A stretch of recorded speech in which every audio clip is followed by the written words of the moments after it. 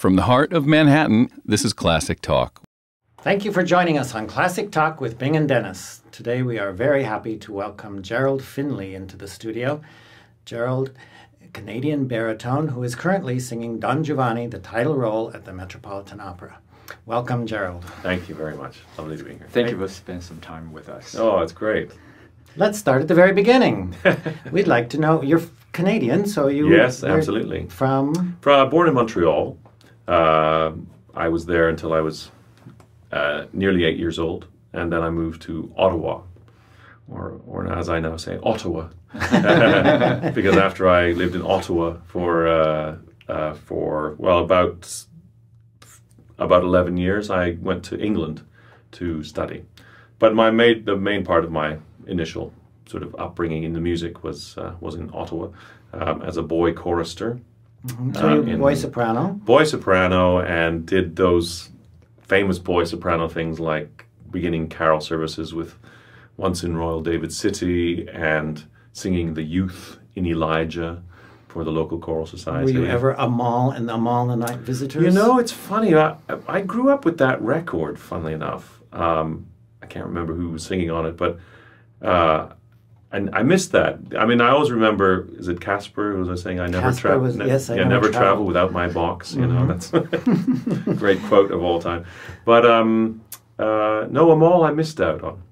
I had the pleasure of singing that Did once you? upon Good a for you. yes. Good for you. Why is it usually uh, soprano, you know, the, the chord, always turning to baritone? That's it. Well, it is interesting, isn't it? I well, I think it's it's probably a percentage thing. You know, I think uh, there must be sopranos who turn into tenors.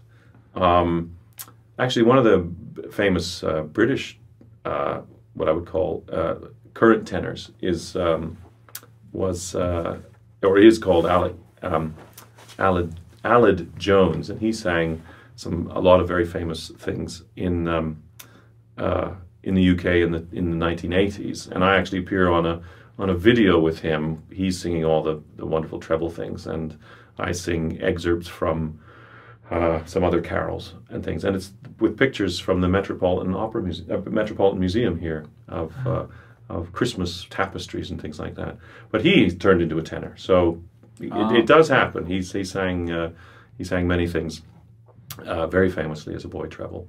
But the rest of us, I, I must think that, that a lot of the tenors that we know must have sung treble. They just don't talk about it. That's probably true. when when did you stop singing? I mean, voice change. yeah, well, I was I was a late changer. It was I was nearly sixteen. Is that right? Is that yeah, right? yeah, and and being being fifteen and three quarters and still in your boys' choir, while everyone else is in the bass or tenor section, and you know wanting to play hockey after school and doing all those things that normal mid teenagers want to do, and I was going to boys' choir practice, so uh, I think a lot of I handled myself in an extremely mature way. I just and I tried to talk down here a lot. Yeah, I'm off to choir practice. Right. What? but I survived, and uh, it eventually turned into a baritone, a very very narrow baritone. I didn't know I couldn't sing low and I couldn't sing high for Ah. about two or three years. But I struggled on. I struggled on, and overall, in the end, it was. Um, I, I I got into some choirs when I was seventeen and eighteen, Mm. and that helped me. I was with, Right. with my own kind then. Are you from a musical family? Well, no, um, not not in the immediate uh, vicinity. My You have a cousin who's play who Yeah, well- you. yes, my cousin is a is a was a concert pianist and uh, now runs a festival in in Ontario, in mid Ontario, called Westben. His name's Brian Brian Finley, in fact. And I have another cousin actually who, um, in my dad's side, who was a rock drummer, and uh, so he had music definitely. And also in his family there was another pianist of sorts. But I've also found recently, and this is kind of the fun bit, where my father's aunt um, was in fact somebody called Lorraine Noel Finley, and she did translation for Schirmer in Italian opera arias. So all the all it's those anybody who has an Italian opera anthology with English translation, they'll see Lorraine Finley as the translator, and she was in. She was here in New York, very involved in the um, amateur music scene and the choral music scene in in the 30s and 40s. She married a, a violinist and retired to Connecticut, and there she is. I mean, she is a direct a direct uh, relative, and I can't believe it. Right. So my aunt was was you know, and it, and she has a whole archive now in the um, in uh, the Eastman School up in Rochester. Is that right? So Wow. she was a composer as well. So there is music in the line somewhere. Your parents were supportive of your singing? Well, you know, naturally, being good conservative Canadian, uh, they were very much uh, keen that I should further myself in things like sciences and perhaps even medicine. What did your Um, dad do? Well, my dad was a was a professor of education. He uh, he he had an amazing career. He had a uh, a life as an accountant. He uh, became very studious and uh, lectured in uh, the history of education. And then he became a civil servant in Ottawa. That's why we moved to Ottawa in the museums, and was responsible for looking after things like um, uh, all the ethnic um, displays and and transporting of original log cabins into the museum spaces and things like that. So he had a he had a keen interest on. So what did he of things. foresee that you should be? Well, actually, he was pretty cool. Uh, he was, very, I mean, cool in a in a in the positive way. In, he was relaxed about. He knew that I very much liked music. It was him who encouraged me to do the boy treble thing.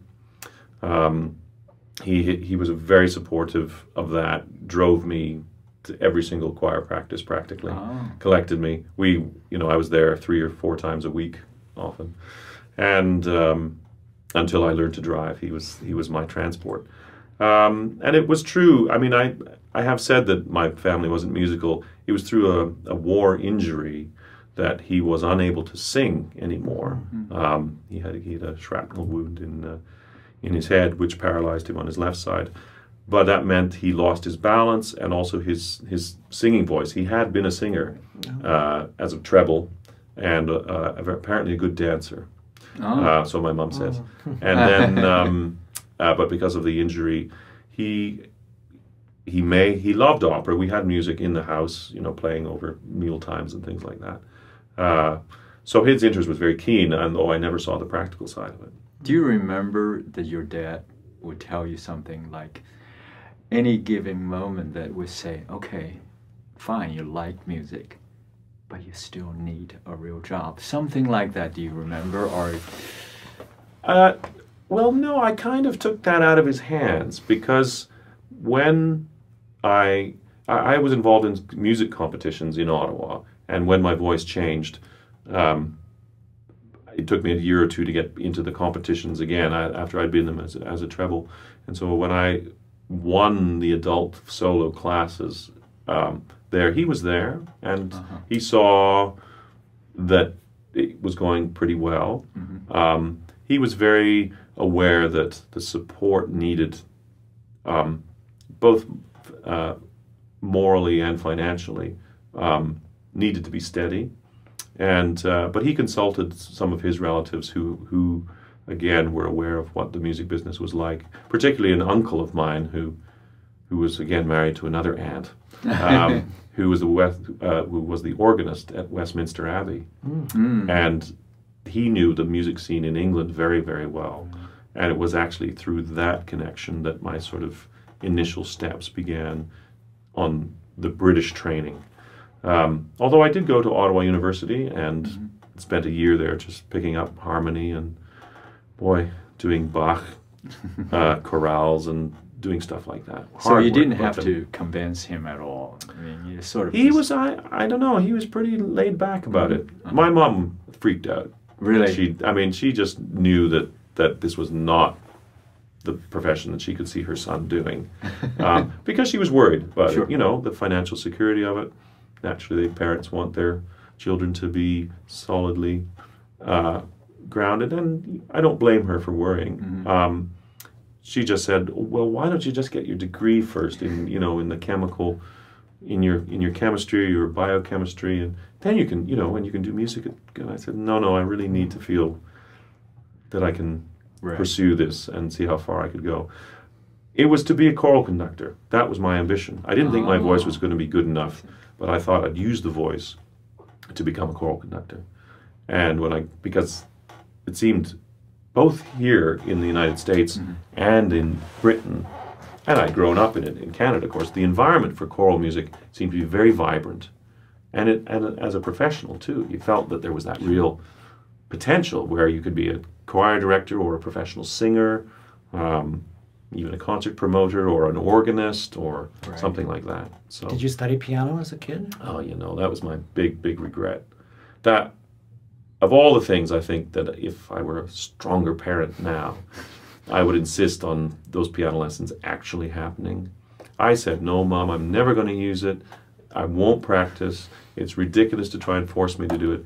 I did take a few when I was sort of 15 and 16, but by then, I don't know what it is. Teenagers, the, concentration span isn't there, and the fingers seem to be like rocks at the end of your hands.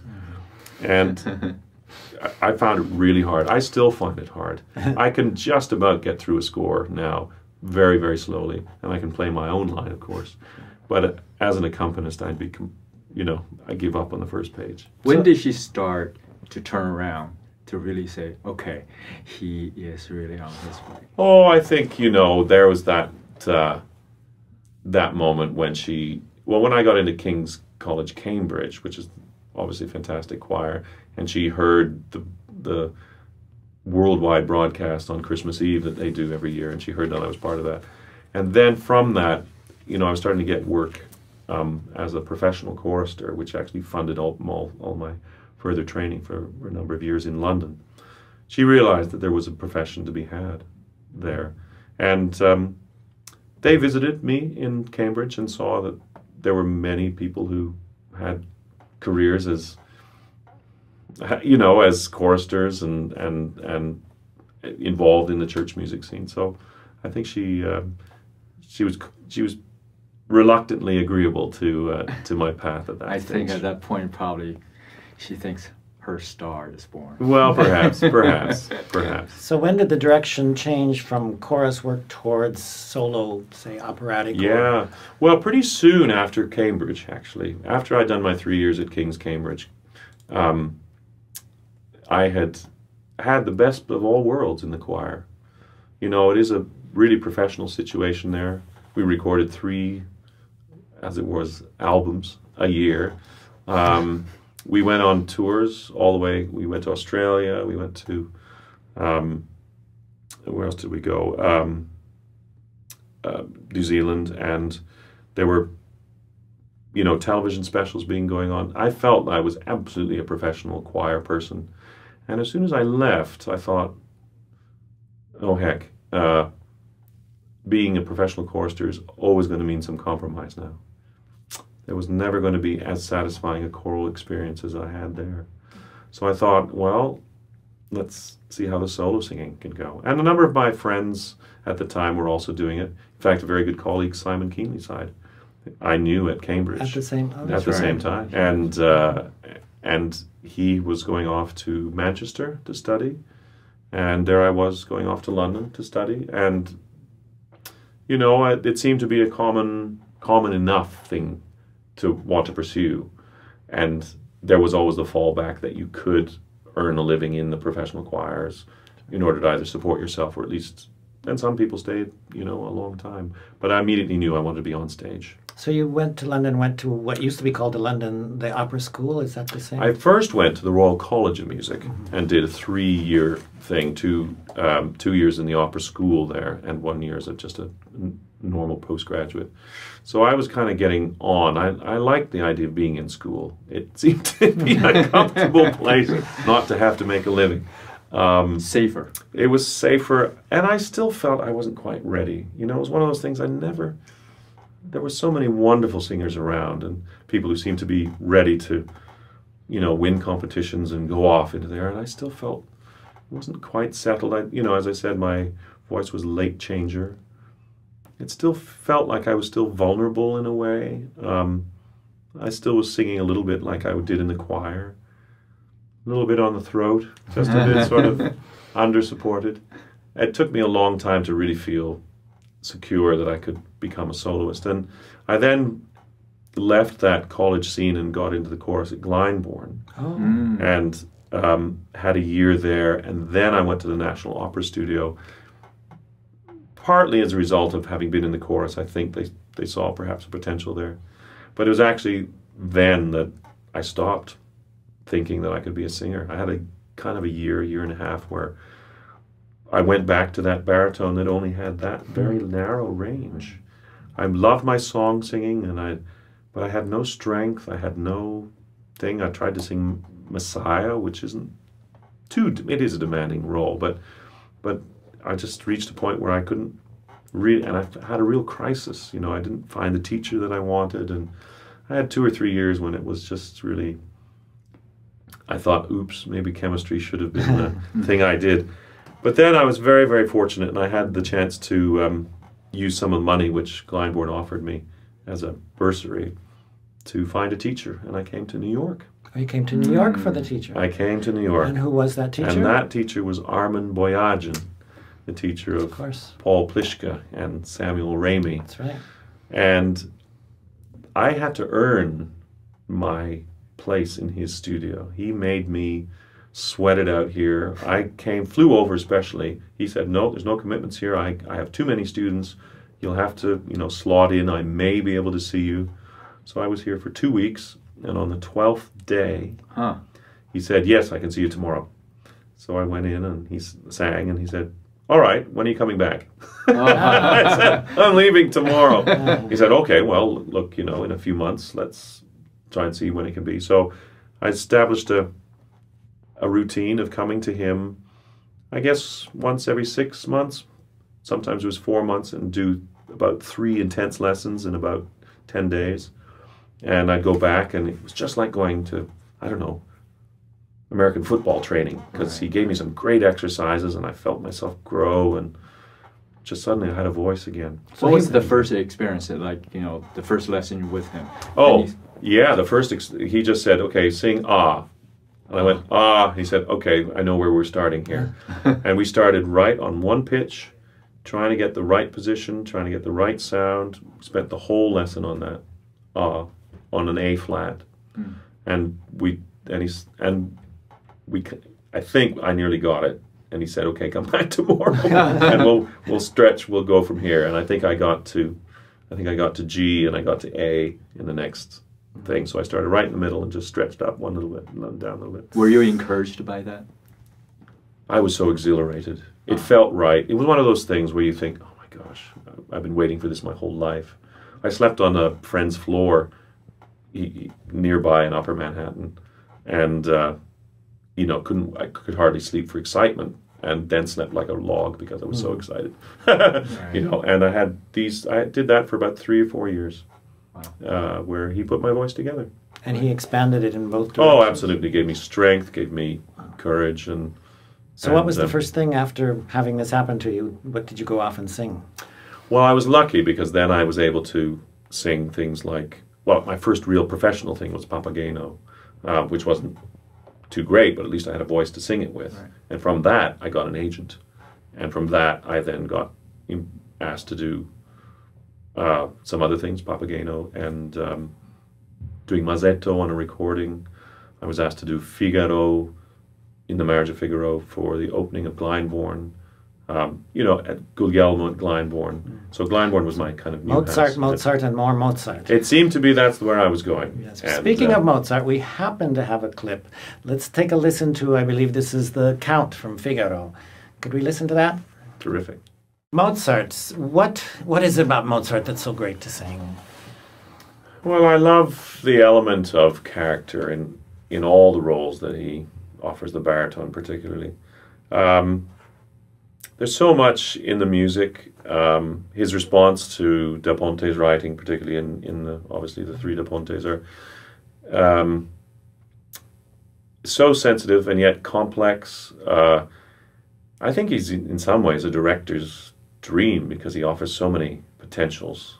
Uh, there's so much there's so many layers of emotion that you can find in each of the each of the characters. I I'm always thrilled to look at the score again and again and again and see something new, and and look at, you know, why, for instance, in the Count's aria, why he puts rests in between vedrò per man d'amore unitan vile oggetto, and it's just it's just the way you, you'd be. You'd be, you'd be breathless and, right. and full of anger, and then then you just go like this, and it's it, for me that's that's real. I mean, it's it's really easy to act when you have so many clues like that. Of all the Mozart, which is the most satisfying evening to go through? Is there one that's more satisfying, or are they hard to compare that way? Yeah, that, it's it's hard.